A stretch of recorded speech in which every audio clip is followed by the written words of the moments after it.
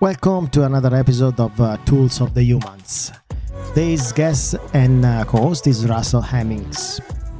Russ is a giant. His spectrum of knowledge and expertise is immense, and when it comes to confrontation, his voice is the mean to achieve amazing results with the people and for the people who work with him. Russell is a behavioralist, an author, and a life coach. This is Tools of the Humans. I am TC and I'll co host the show with Russell Hemmings. Welcome to the show, Russell. It's an honor to have you here and um, really ready to dive into this journey, into the journey, which is to uncover the tools of the people, the tools of the people that are facing daily challenges. How are you? Mm-hmm. How was your day so far? I mean, we already talked before, but I'm going to ask it directly now. it's a long day. I, I start early. Uh, it's intense. It's exciting. I never know who's going to walk through my door with uh, the problems that they have. But you know, that's what I enjoy. I like to be put under pressure and in the deep end. So uh, honestly, I'd like to say, yeah, I feel fresh, and uh, but yeah, it's been a long day and it's been challenging, and I wouldn't have it any other way. I love it. Yeah. As I as I said in the introduction, uh, you are a giant You've been in uh, you've been a pro in this field for a long time with recognition all around the world. So I had in mind an agenda to uh, to do a few episodes with you on specific topics. But then the last week we met online. We tried to figure out some tech uh, mm. stuff, uh, a bit about microphones and lights and stuff like this. And then mm. it came down to know us much better and rehearse some of the questions uh, and tools which could come up during uh, during the show. Sure. And uh, I realized that probably only two or three episodes were not enough. So I said, okay, let's start. And you know, your knowledge is so vast that we made a promise. If we digress from what is the question, then we're going to make an episode on that one. Okay, so it's going to be a journey in the journey in the journey. So listeners can read about you in your uh, homepage russellhemmings.com uh, but they won't find how you embarked on on your path on this journey. Tell us a little bit yeah. Yeah, uh, how sure. you started.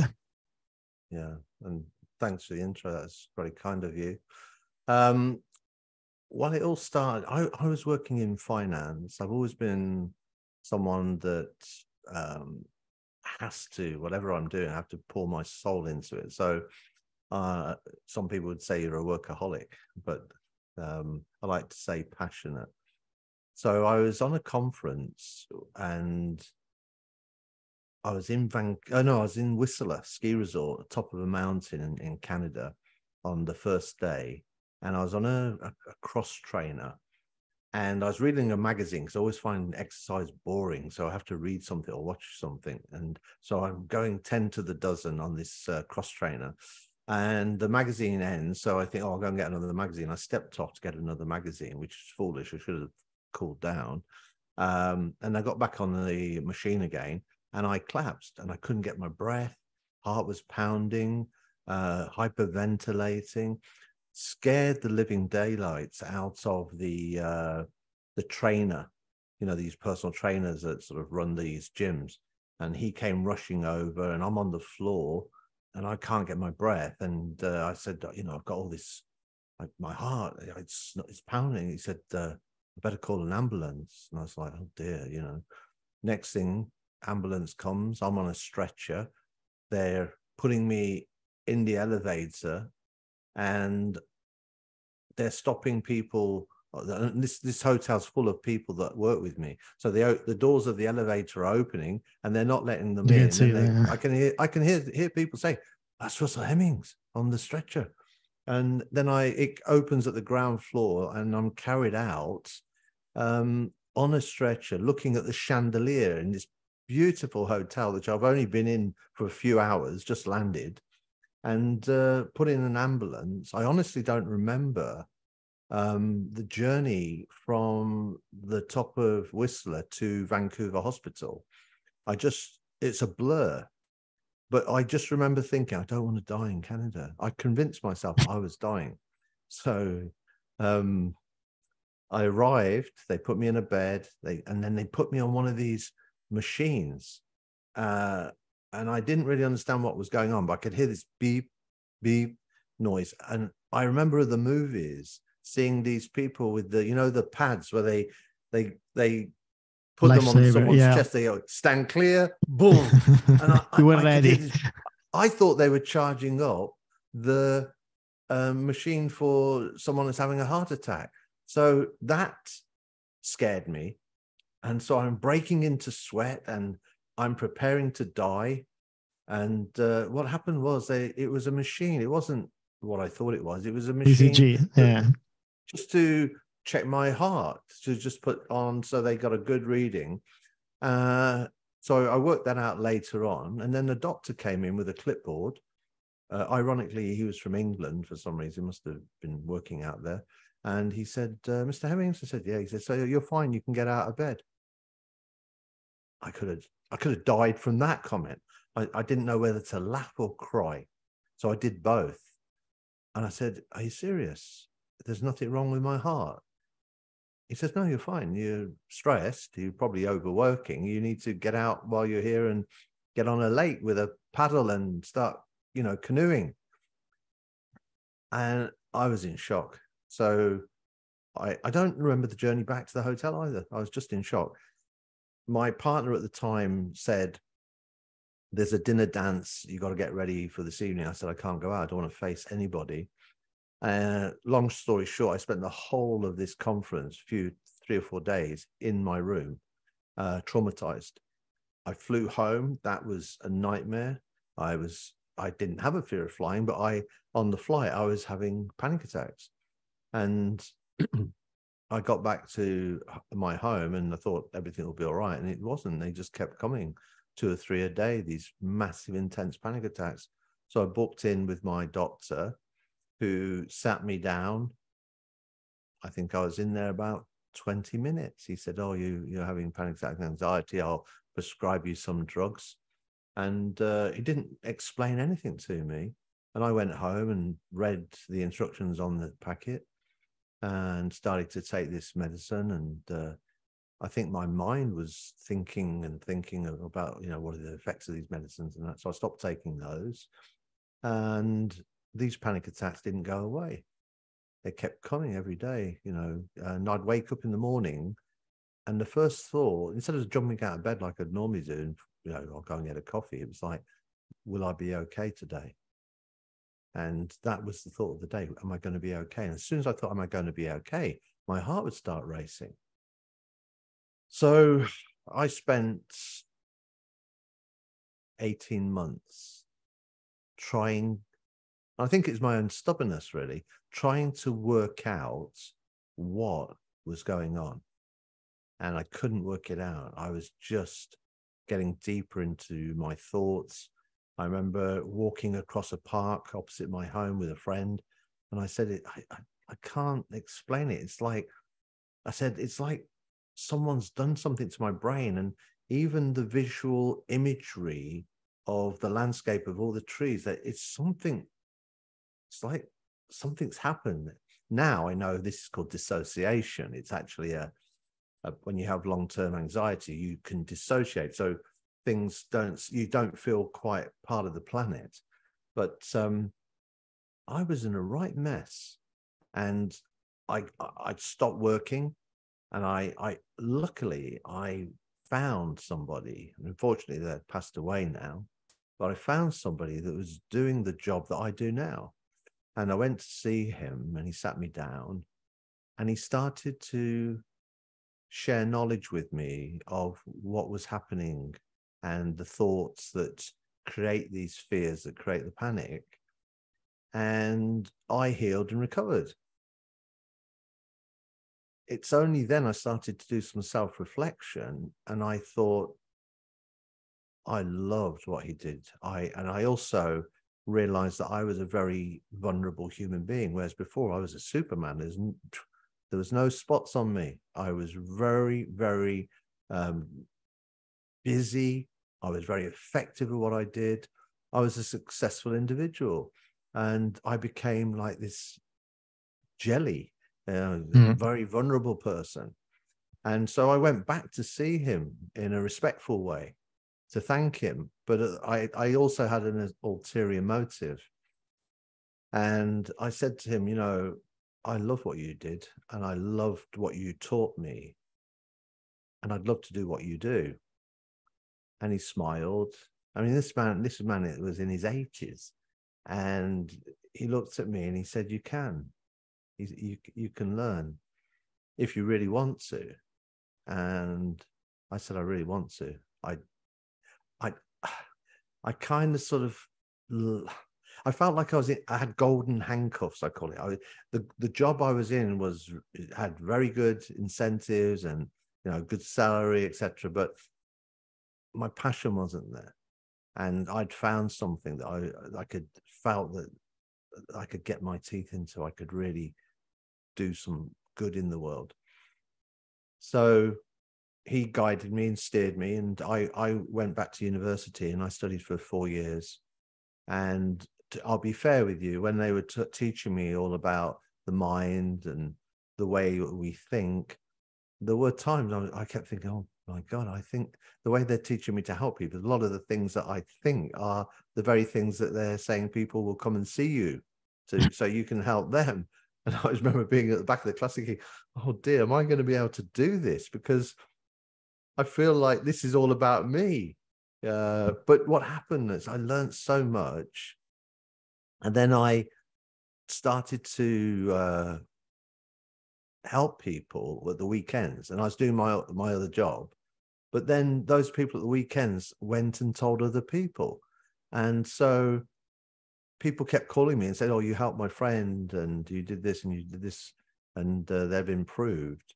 And before you knew it, I wasn't able to go to my normal job because there was too much work on the other side uh, in the work in the coaching work I was doing and the hypnosis and all the other things that I do, and uh, that gave me the opportunity to uh, say, you know, it's time to make that shift and do this full time.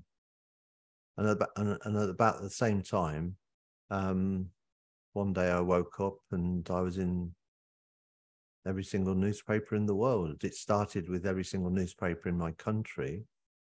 I walked out into the high street and I, to get a sandwich, and they said, "You're in all the newspapers," and uh, and then that I, I thank Richard Murdoch. I think really the uh, the media baron, but he he syndicated it out to the world uh, about some of the work I'd done, and then you know people like ABC News were contacting me, the BBC, and they wanted to know you know what I was doing, and you know some of the things I was helping people with and uh, the rest you can say is history and it's still happening to this day people are hmm. contacting me globally thanks to like zoom even now you know yeah. i'm working internationally with people all over the world um, with anxiety states different different things yeah. usually very very particular things that you know that they've tried other places and they've tried other techniques and they just haven't been able to uh, make change and uh,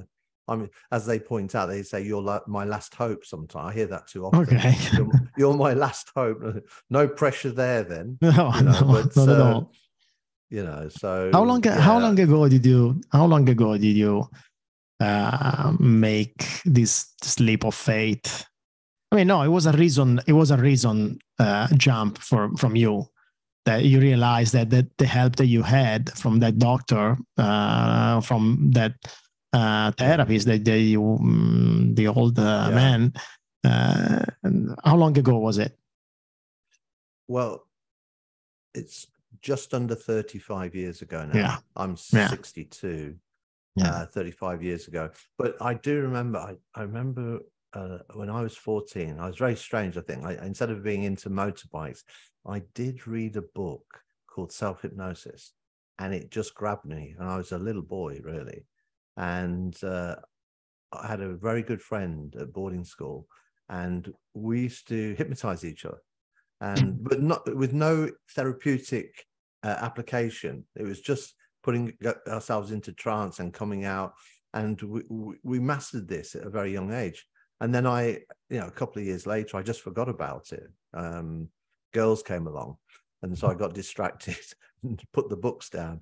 But uh, I, I just had this interest in the mind and uh, what the power of what you can do if you know the rules and, and how to uh, apply it in a in a positive way. So I I, I dipped my my toes in the water, so to speak, um, at 14, but formal training uh, was 35 years ago.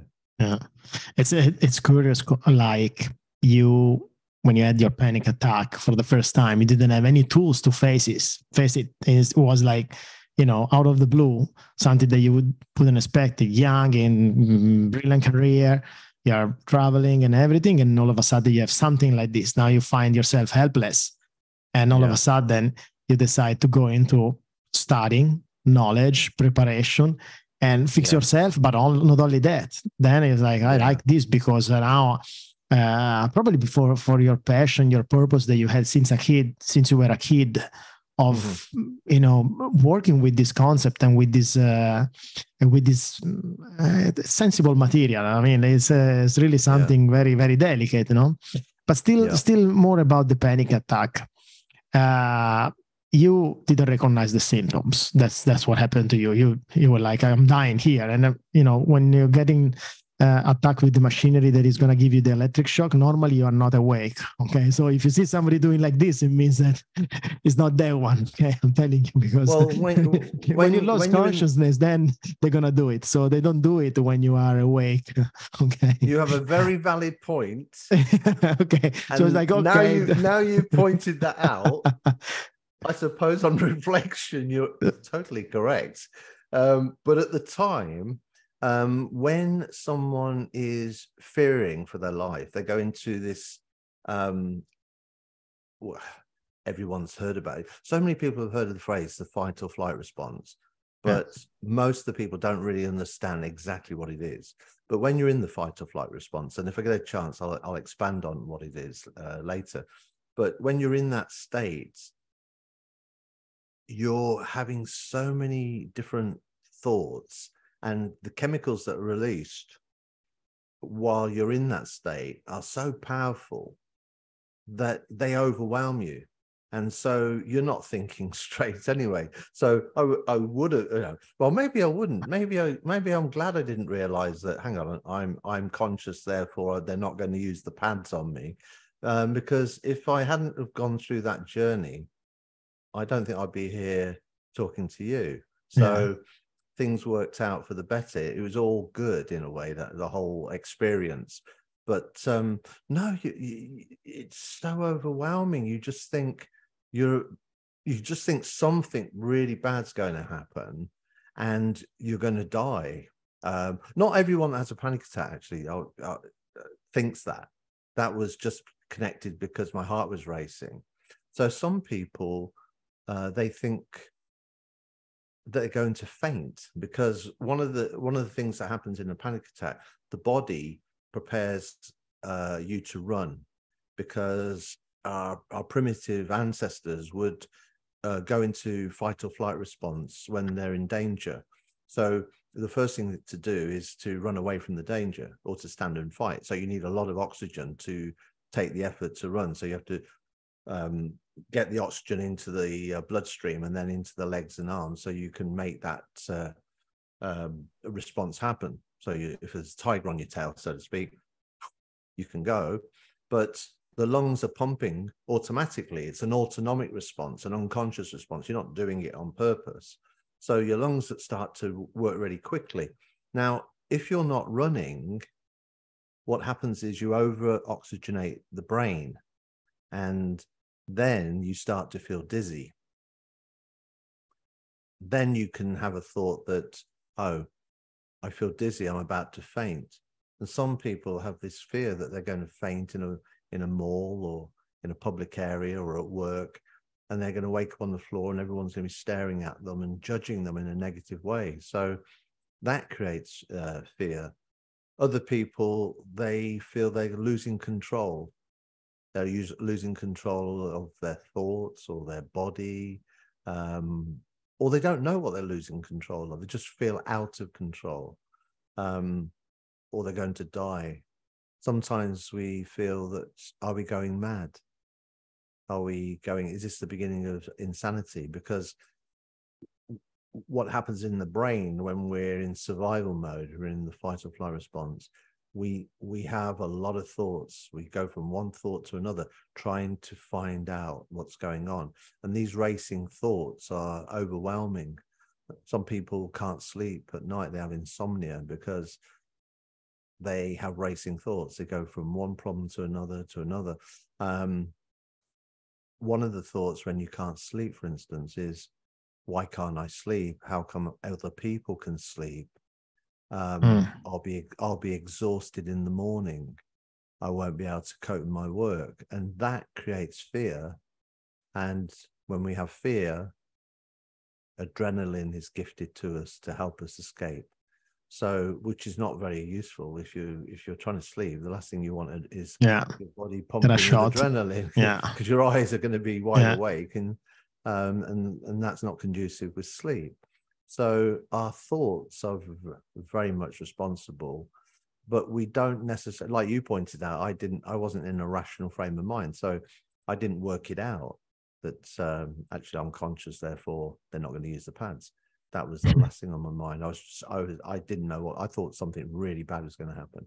So my body was full of adrenaline and, and cortisol and, uh, but it, it, this is in in those days. I mean, obviously there was knowledge because uh, all the mm. um, you know mental issues, mental health, and panic attack. It was known, but the narrative was not like now. I mean, we were chatting before about statistics and like modern statistics, and we can see, you know, an increase. Probably there was already uh, in the past, but it was just not coded or was not there was no awareness. What do you think? I mean, when well, you started, uh, it, it obviously grew grew to a point and now everybody can talk about panic attack and everybody will say my i think there was a state yeah. that I went through. In the past well, was like there's multiple answers there. There's uh, there's multiple questions in what you just said. The, the first thing i'd say is uh, i've seen anxiety and panic attack is on the growth. It's since covid there's an yeah. increase. When i when i i remember seeing statistics that um, of one in eight will experience anxiety or panic attacks at some time in their life, one in eight, which is high. And then later on, 10 years later, I saw statistics that said that uh, that had increased. So uh, half of us will experience uh, panic attacks or anxiety in our lifetime. And since COVID, just the other day, I was reading that one in three. So it's definitely on the increase, and I've got some ideas why that is happening. I think that's the speed of life, um, where as technology gets faster, uh, we can't keep up with it because we still have the mind and body of our ancestors. Nothing's changed, but the technology that we're using has changed. As I, I, I we were talking before uh, the show started. Um, you know, the idea when I was at boarding school, I'd, I'd, I'd take an hour to write a letter. Yeah. And I'd walk down to the post office another hour and put a stamp on it and send it to my mother. Uh, you know, I, have had at least a hundred uh, letters today, mm-hmm. emails we call them now, and they were sent instantly, and they want instant responses. So the world has totally speeded up. Now, also the pressures that I've seen a lot more children experiencing panic attacks and anxiety. Why is that happening?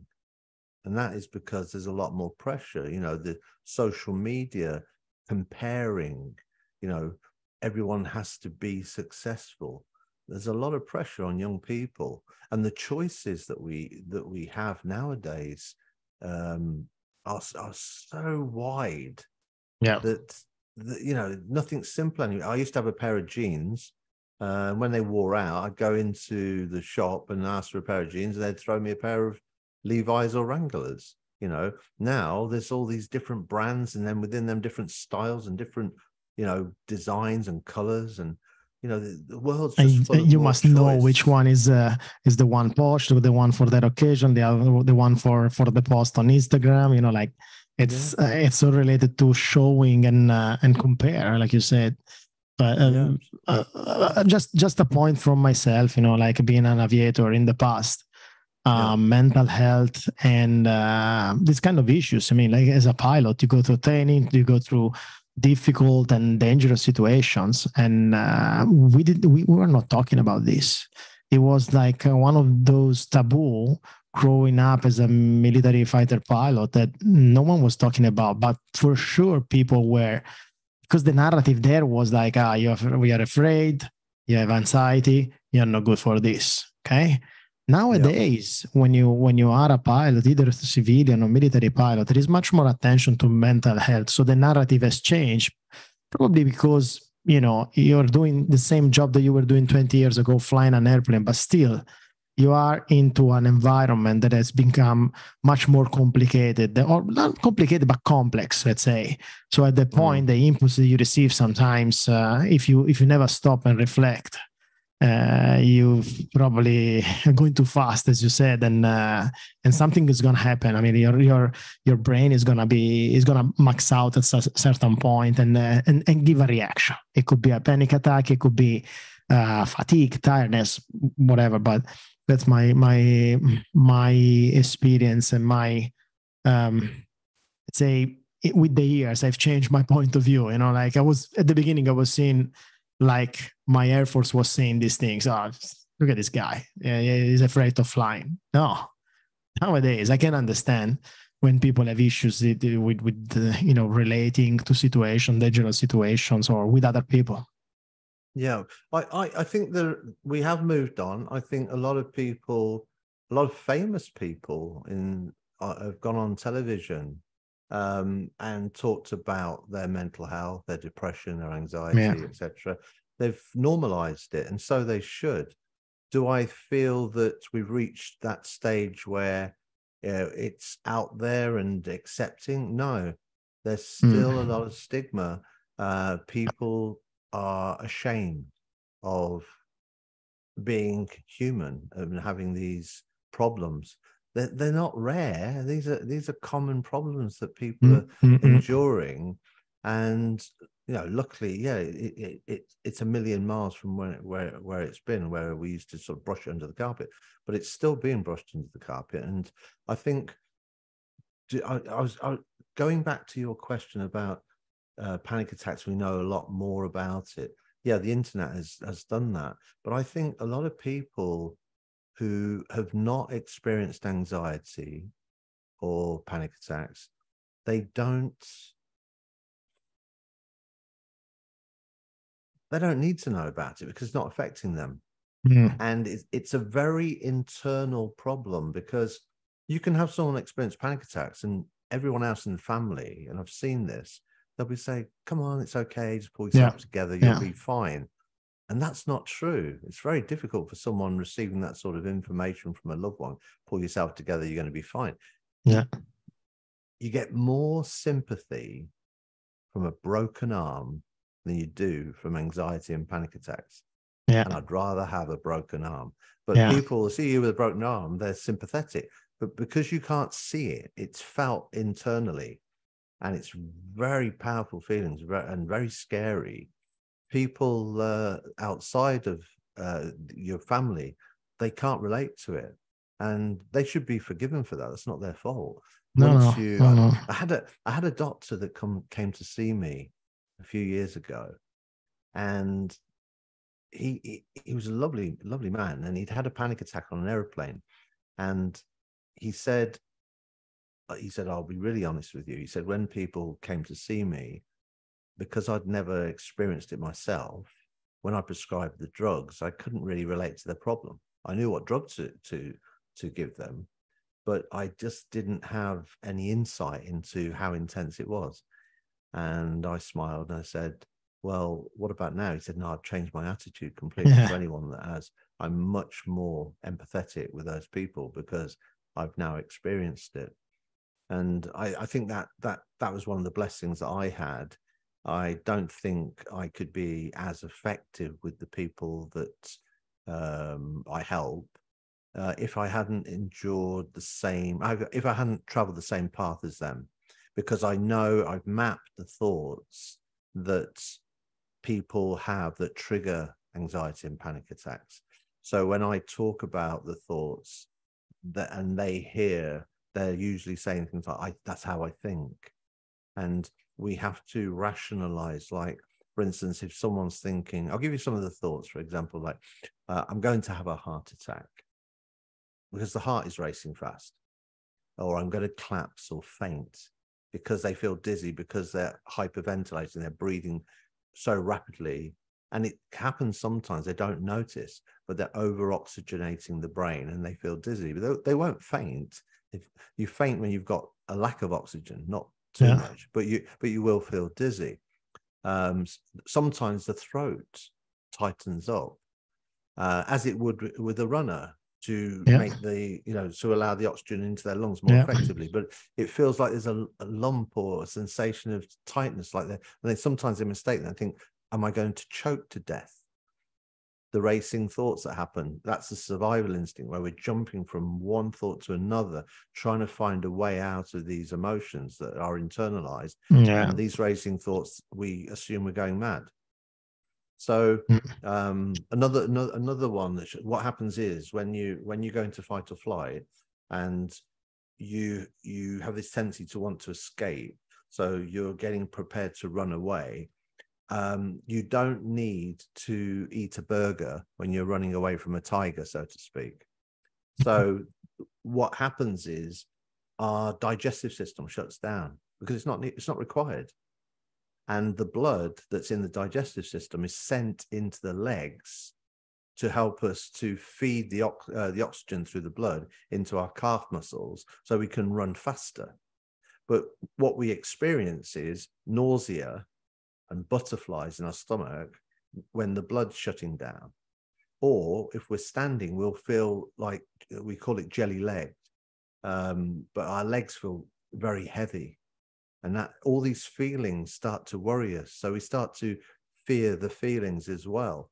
Um, and then we think maybe i'm going to lose control and i'm going to do something embarrassing. And people the public if i'm in a mall or for instance or at work they're going to judge me badly for acting out that way all these things that they're thinking don't happen uh, but they don't rationalize. They don't think, oh, these things never happen.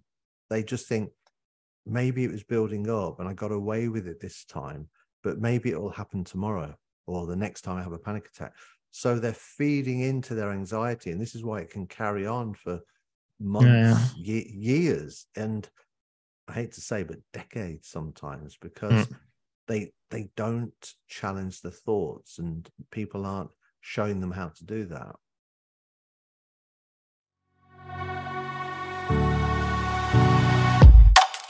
tools of the humans. This is your contemporary podcast where you will learn how humans face challenges. Everybody has a story to tell, listening is knowledge. Let us know if you're interested in sharing your story or if you know somebody who wants to tell theirs. The show is available on Spotify, Apple Podcasts, and YouTube.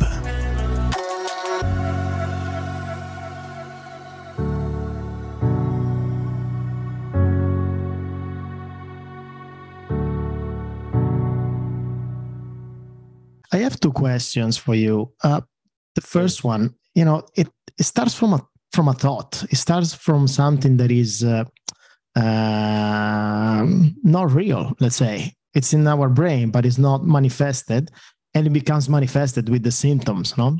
So the yeah. first question is uh, symptoms versus root cause. What is your strategy uh, to uh, to attack these two things, you know, because they, we we know the doctor are gonna give you some pills to attack the symptoms, but there is a yep. root cause, and then you need to research and you do so that that's your job basically. The second yep. question is, is: Has it ever happened to you to have a client that was having a, a panic attack in the moment that you were seeing the the the, the, the client and you were able to collect and right away give back a tool to fix it and to uh, to get out of that Yeah, situation. Yeah, yeah, yeah, yeah. Uh, and not just on occasion, quite often, um, people will have an anxiety or a, a panic attack, and oh, that in, in fact, that's really useful in a way. It's uh, Yeah. it's it's a- it's a gift because when I'm with them, I I what I usually do is they they they'll you'll see them they they'll go pale and they'll stop talking because in fight or flight the, the left side of the brain shuts down and language and logic is held in the left side of the brain. So they'll usually go silent and they'll start to hyperventilate. Now my job when that's happening is to bring them out of their thoughts. So i'll just usually just say hey come out of your mind for a minute. I'll use a grounding technique. So uh, what i'll do is i'll say just focus on me for a minute. And sometimes they, they find that difficult because they're trying to deal with the the feelings. They're trying to they're trying to suppress the feelings and control them. And instead what i do is like okay give me five things in the room that are green. Hmm. and they're like what? And they're confused. Uh, five things. Look at me. Focus on me. Don't focus on your feelings. Five things in the room that are green. And they're like uh, the plant uh, your book and a few other things okay, okay four things you, you can feel on your body right now and they're like feel i said yeah like can you feel your shirt Hmm. the, your spectacles your tongue in your mouth and then you can see them start to Is externalize yeah, yeah, is. I go, okay, what else can you feel? Um, my shoes. Uh, okay. What about the seat you're sitting in? Yeah, yeah, I can. I can actually I can feel my watch. That's okay. Give me three things that you can hear right now. The air conditioning unit. There's a creaking in the building. Your voice. Yeah. Two things that you can smell, and they're like, smell. Oh, yeah, just smell your shirt. You might have some washing powder or your aftershave. One thing you can taste. I go, how do you feel right now? And they go, uh, better. Mhm. And they're like, Uh, what did you what did, what did you do? I said, I didn't do anything. You did it. All I did was stopped you catastrophizing and focusing on the feelings and brought you out into the present moment. Touch the table. How does it feel? It feels cold. Well, if you're either inside your head catastrophizing or Yeah. you're outside experiencing. And that's just a very simple technique. It's not um, uh, you know magic it, it's just a technique to bring them out. And that's just one of many techniques. And they they can use that and they do use that as part of the tools that i give them to get back into the world. Because someone i can go for a walk in the park. In fact i did yesterday and i stood under a flame tree which i don't know if you've seen a flame tree but beautiful red leaves mhm. and I took some pictures of it. And while I was doing that, I noticed there's some birds, two birds, and they were singing, and I was I wanted to know who they were singing to. Now, when I had anxiety and um, and was experiencing panic attacks, when I walked through a park, I didn't see anything like that. Mhm. I was deep in thought of, will I ever recover? Will I ever get over this? Why me? Have they misdiagnosed me at the doctors? Did they maybe miss something? Should I go to another doctor and get a second opinion? So I was deep in thought, jumping from one worry to another, which creates fear. So I was fueling the anxiety. And when that continued, I would then eventually scare myself and I'd get a panic attack. So externalizing, teaching people, and you have to reteach people to externalize, to get back out into the real world.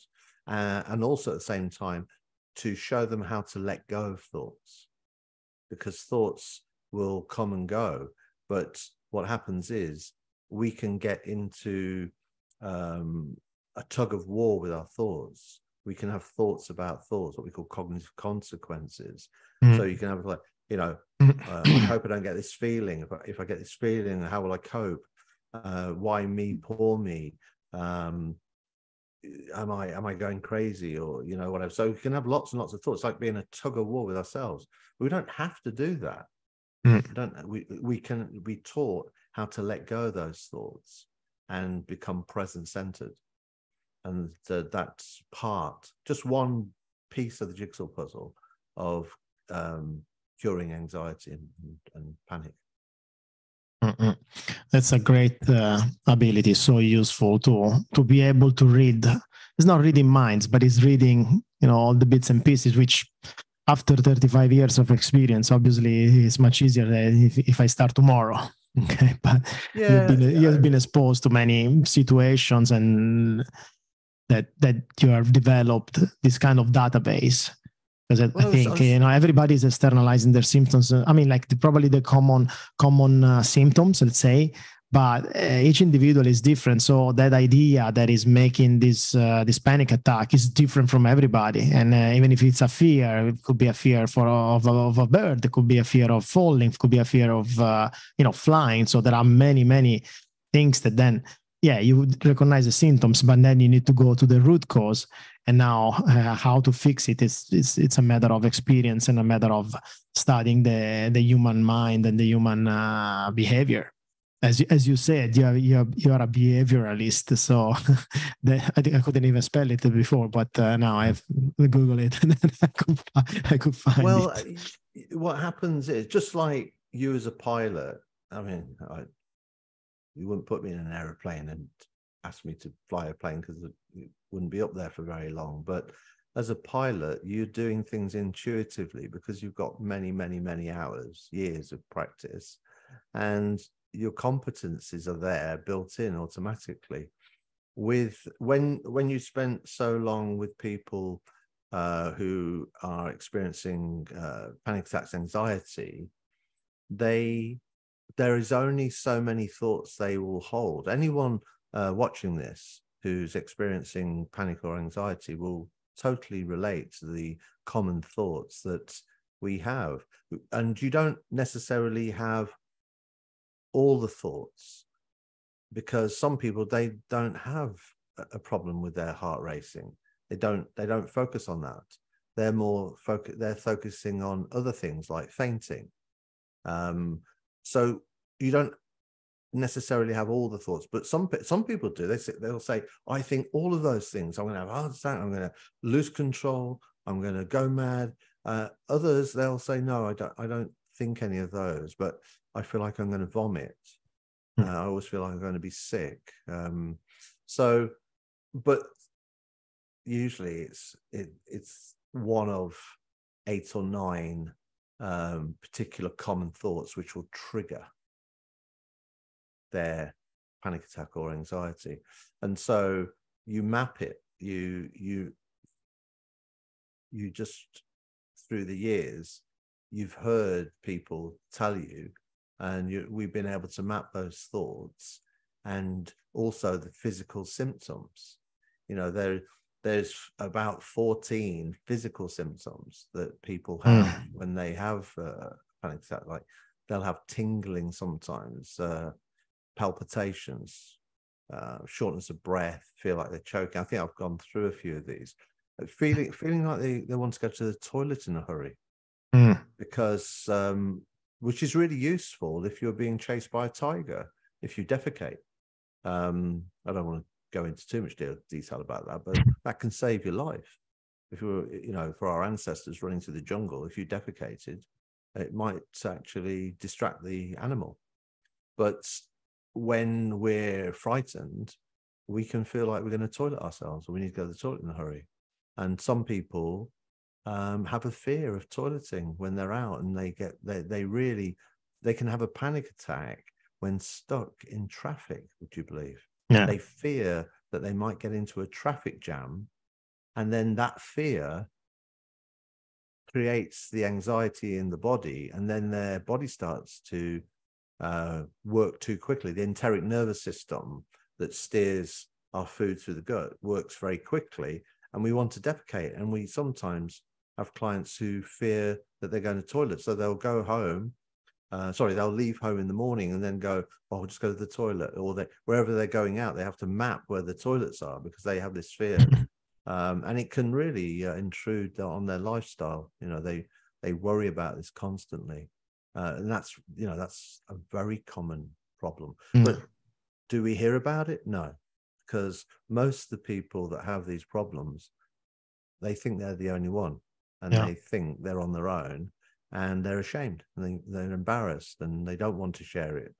Um, you know, w- w- with people, it's a very private thing. So um, we don't we don't get to hear about this stuff. I do. I Mm. see it every day. but, Yeah, yeah, yeah. um, I mean, much more than before. Obviously, mental health. Let's not call it mental illness, but mental health. It's a, Yeah. it's a, it's a narrative that we hear so many times on the radios and media and everything. So yeah, we need to, you know, send away this stigma. You know, the stigma, stigma, stigma, which is depression, anxiety, panic attacks, and, and but it, it's is it common that people give up on panic attack to become at a certain point the big uh, panic attack becomes a part of their of their of their life a chronic condition they and they're dealing with it you know like until until the day of their death yeah. yeah Yes, yeah, yeah. Because if somebody thinks, for instance, I'm not fixable, there's no hope for me. I'm always going to be this way. There's no opportunity. I've tried everything.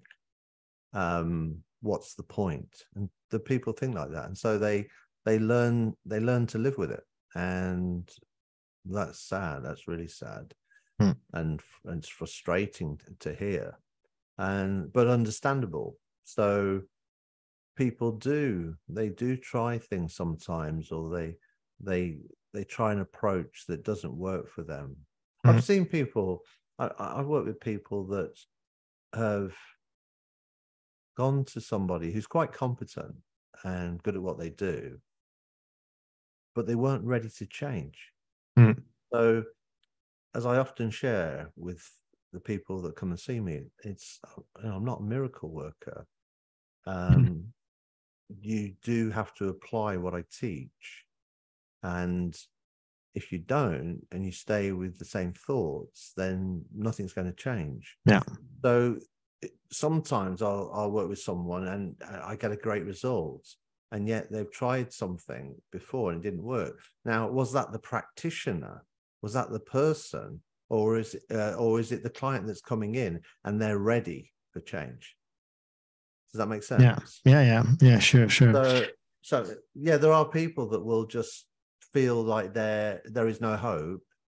And then if someone feels like there's no hope and they give up on themselves then they they're probably not going to be in the right frame of mind to uh to to apply the things they're taught because they're not going to work for them anyway but the, but you don't give up on those people I, Mm. I can be i can be quite persuasive and i think that's that's one of my uh, Yeah. skill sets so Yeah. uh, someone once said that i should should have been a barrister um it's like, and, and and i think i think when you're working with clients you are going to courts and what happens is i'm going to use the analogy of the courtroom here that people that have problems with their thoughts that cause these feelings they they go into court in their mind and the the judge is them but the jury is also them. Mm, yeah. And the prosecution is them but there's no defense so if you go to the court with just prosecution a judge and jury you're just going to slam Yeah. the hammer down and go guilty yeah so guilty if they 30 think years that I'm going to have a heart attack, and this Yeah. is the, the onset. These, these these feelings are the onset of a heart attack, and you don't have a rational argument. Say, well, hang on a minute. Did you not know it was um, adrenaline that's creating the um, the rapid heart rate, and your thoughts that are causing that, and show them how to change those thoughts, those unhealthy beliefs then they're going to be in a courtroom all, all day with a just a prosecutor and he's going to win or she's going to win Um, my job is to get into that courtroom and start to show and uh, the jury, judge, and the prosecution that actually their their thoughts are irrational and they're not true. And so you do have to be uh, persuasive at times and and present arguments and logic um, within the um, sessions um, in different ways. It's like chipping away. Yeah, you have to find an angle know. to to get in. Yeah. Yeah, totally, totally, mm. and uh, that is a skill set that I think is required, um, and I, I, you know, I think that, that has a lot to do with the results that I get. It's um, mm. you know, you've got to be passionate. You've got to be, you've got to have an answer for everything that is being mm. asked of you. Mm-hmm. Because if you don't have an answer, and it has to be real, it has to be truthful, then they will think, oh, no, you didn't know, you didn't know the answer to that. So mm, mm-hmm. they'll just stick with their original, their original belief. Yeah. So yeah, you have to be on. I mean, like you probably met people with this chronic condition, you know, and they were they they they were dealing for the entire life with panic attacks. And but what is Russell's word of the of wisdom for them? Why shouldn't people give up on fighting and getting out of the situation? I mean, much more holistic approach. Let's say I'm not talking about the tools and everything, but why? You know, if somebody's suffering from panic attack now and is listening is like why wouldn't wouldn't give up wouldn't sh- why shouldn't people give up on uh, on on trying to fix this situation? That's a great question. And it's it's not one that uh, i haven't answered because and I'll, I'll tell you straight you only get one life as far as i know. And the quality of that life is down to ourselves. It's not the events in our life that affect us, it's the thoughts that we hold about those events.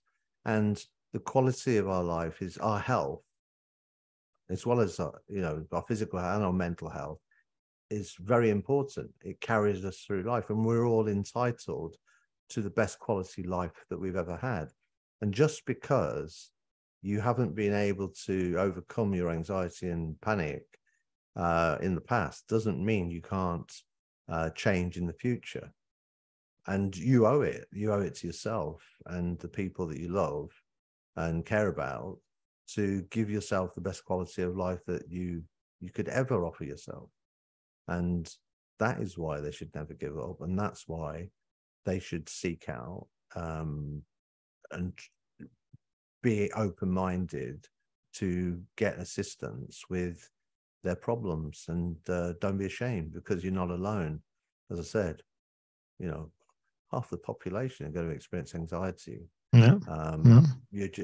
it's more common than not now. Yeah. So yeah. it is. Purely, it is purely over. They yeah. owe it to themselves. And I, I just, I remember, I, you know, I remember thinking that I'll always have this problem, and I'm not ashamed. I'm not ashamed. I became depressed, thinking, why me, poor me? Will I ever recover? Yeah. Mm. And if I'm not going to recover, what what will life be like? And I didn't feel like living. Yeah. I felt like giving up. Now, since that time, when I recovered and I, I got the right approaches and I put them into practice, I reflect on, I've had some beautiful experiences. I haven't mm. been back to Canada yet. I keep promising myself I've got to get back to Whistler and actually yeah. see it for what it is because I didn't see it uh, only from a, the view of an ambulance yeah, stretcher. But I've got to get back there. But no, I've had some wonderful experiences. I've met some wonderful people. Uh, but there was a time that I was in that place, that that dark place where I didn't feel like I, I wanted to be here. But that is temporary. Mm. And just you know that is temporary. It doesn't matter if you're in your 30s, 40s, 50s, or you're, you're 90 years of age. Things can change. My mother had anxiety and panic attacks uh, for most of my childhood. Um, unfortunately, she passed away two years ago with COVID. But what happened? Her quality of life. Uh, she didn't have those panic attacks, anxiety later in life and things changed and we can all change We, every single one of us, we're not stuck. We're we're not, you know, clay pots. We are plastic. We are flexible, and we just need to get the right information in the right way uh, to and help to facilitate this change.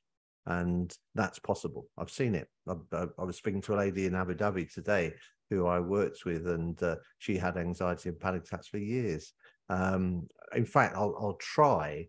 Uh, she did say that she'd be comfortable to share it. She didn't want to go. Oh, nice. Yeah, yeah. But I'll, I'll I'll talk to her about that. But um, you know, it's been like she couldn't go in malls. She she would have mm-hmm. panic attacks in malls. Yeah. And, and, uh, in the Middle East, where you know most of the activities are done indoor and malls, it's a it's a big limiter. Eh? It looks like you know if you think about well i live in europe you know in the in the greens yes but in the middle east you're living indoor you know for mostly yeah. most part of the year so that that's a big thing um, she hated queuing in um, shopping malls because if she had a panic attack in the queue with her food yeah. on the on the uh, conveyor belt she couldn't leave it and so okay. she had this the idea is i want to run home to safety so she would have the panic attacks always when she was in a queue which is funny enough where i used to get them as well it's yeah. uh, it's very common. Uh, that is so. Uh, mm, so common. Huh?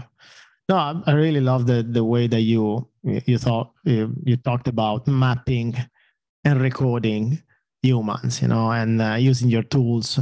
And uh, quick one: What is the internal source that people present to you when they come to you for a, for help? The moment there is something triggering them. So they have a tool that they're using in the moment. And what is it? What happens when they are empty, but still they're coming to you and they're looking for help? Nowadays, um, I came to the Middle East 12 years ago. And so everyone was new. What happened was, as the years went on, people that I'd helped started to share with their friends or relatives their experience. And so the people that um, were able to make those changes, they talk. And so hmm. most mm. of the people that come and see me these days are friends of friends or family members that are going through difficult times. And they've been referred uh, to me uh, based on what they've they've seen. You know, it's very common. It's like my sister came to you and you helped her, or my brother, or a family member, or a friend at work. Um, so it, it's really it's, it, is it a, a, village? It's a village, yeah, and people, you know, they, they discuss these things, especially when they've recovered there's nothing better than someone's recovered from something. They don't mind talking about it. Yeah, yeah, yeah. When you recover, you're a superhero, I used to yeah. feel like that. Yeah, yeah, yeah. Um, and I think that I think there's some when people overcome a problem like this, I think it's to their betterment. They, I think we become better people yeah. when we go through something difficult, like anxiety, and come out yeah. the other end I yeah, think I think so. It humanizes us. It makes us realize yeah. that we're not superhuman, and and the pace of life that we we've you know that we've involved ourselves in. We we you can't just keep continuing to just give give give all the time, and you know yeah. spend hours you know on technology and that. You you need quality sleep, you need quality food, you need quality thoughts, or else there's consequences. So. Yeah. uh is that that's really really important to get those you know those three things it, right. it looks like people are lowering their threshold of shame with the people that they know. It looks like people are feeling much more comfortable with people that they know to share their their situation and now their threshold of shame is lower. So now i'm exposing myself and the, the other guy that, that, that knew that they've been there already is able to to provide advice and they are receptive. But the, the, the, it's, still, it's still a stigma because if you think about it, you know, the as you said, is a village, so it's still uh, underground there, and, and people that are unable to lower their threshold, they're still stuck in uh, in uh, in the situation in uh, in the stigma, no. So I mean, it, social media is helping or is a is a curse in both ways you know because you, can use it, it, it, you can use it to uh, make people more uh, aware but you can use it also to to, to make people more scared and uh, and then finally comparison. Okay. I'm, I'm be, smiling. I'm smiling because be the amount of people that research a problem you know if you get a headache and they go on the internet it's a brain yeah uh, you know, and so there's so much information, and depending how you phrase it when you yeah. put it in, uh, into Google, the information changes. You know, is sugar good for you?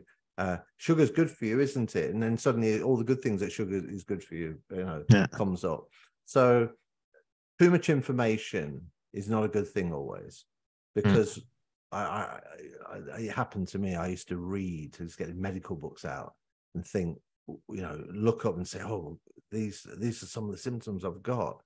And then i'd catastrophize oh my god i could be dying. You know it was 35 years ago i didn't die. But but we can scare ourselves with too much information. Mm. uh, so it's a good thing and it and it's a bad thing. Um, people sometimes uh, not people don't come in to see me purely for this but some some people are very strong on certainty they must be certain yeah. that their health is okay and they will visit doctors regularly for checkups and to, you know uh, every lump becomes cancer or whatever. Mm, so yeah. people there's some people that really demand certainty and they'll research on the internet and they'll they'll worry themselves and they get anxiety about what they think they've got. Mm. and then they, the doctor says no nothing wrong with you it's fine uh, and then they'll go and find something else, and it, so it goes on. So yeah, there's a thought. There is a thought that drives anxiety about certainty as well. I must be certain that I am well. You know, mm. um, yeah, information is can be dangerous. I, can be, can yeah. be, yeah, but it's also useful. You know, um, there's a lot of good stuff out there as well. You just got to know. You got to know where to look and uh, the right places, and to dismiss a lot of the stuff that's out there it's uh it's a minefield yeah I think uh, this is a great uh, knowledge place today with your uh, words and your uh, sharing. Uh, really good mapping and decoding human uh, human brain and human mind and and the thoughts um, to avoid becoming chronic panic attack uh, sufferer maniac yeah, yeah. yeah. Well. so we don't want anybody to be like this you know we, we want people to to live their lives to enjoy their lives and uh, to have meaning, meaning, meaning, meaningful lives. You know, it doesn't have to be always happy because uh, it, it's happiness kind of temporary. That's the, that's what you find I in literature. Happiness. So, but being meaningful, if you lose meaning in life because you have a condition that you're not able to um, to face by yourself. Your tools are not enough. There are tools around and, and you are the expert on this. Um, we're gonna talk again about panic attack for sure in the next episode so we're gonna try to get some case studies in the in the next episode but for today I think we we covered uh, what we agreed, okay, and we didn't digress too much, so that's okay. okay, that's true, that's yeah. True we stay tuned for for the next episode okay? Okay thank you very much Rasto uh, this is tools of the humans. See you next time